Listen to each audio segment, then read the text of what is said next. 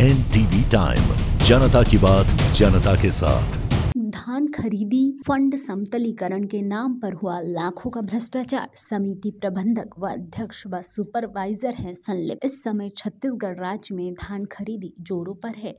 तो एक तरफ़ राज्य सरकार किसानों के हित के लिए कई योजनाएँ ला रही है, वहीं एक तरफ़ अधिकारी, कर्मचारी, शासन को चूना लगाने से बाज नहीं आ रहे हैं। वहीं धान खरीदी केंद्रों में प्रबंधक से लेकर सुपरवाइजर समेत शासकीय फंड की राशि गबन करने में मस्त हैं, जिस पर शिकायतें भी होती हैं। तो अधिकारी भी अपनी जेब गर्म करने की मानसिकता से शिकायतों को दबा देते हैं, जिससे भ्रष्ट लोगों का मनोबल और भी बढ़ जाता है। ऐसा ही मामला मुंगेली ज़िले के बरेला धान खरीदी केंद्र का है, जहाँ समतलीकरण के नाम पर दो लाख पचास हज़ार का आहरण किया गया, जिस पर समिति के सदस्यों ने शिकायत में बताया कि आहरण की गई राशि में सिर्फ़ दिखावे के लिए कुछ ही मात्रा में मुरम गिरवाया गया है और बचत राशि को प्रबंधक घनश्याम देवांगन, अध्यक्ष चित्रकांत जायसवाल और सुपरवाइजर भरतलाल कौशिक सभी ने मिलकर गबन किया है, जिस पर इन भ्रष्टाचार और करने वाले और इन कर्मचारियों पर जाँच कर कार्रवाई करने का शिकायतकर्ताओं ने विगत एक महीने पहले जनदर्शन में शिकायत की,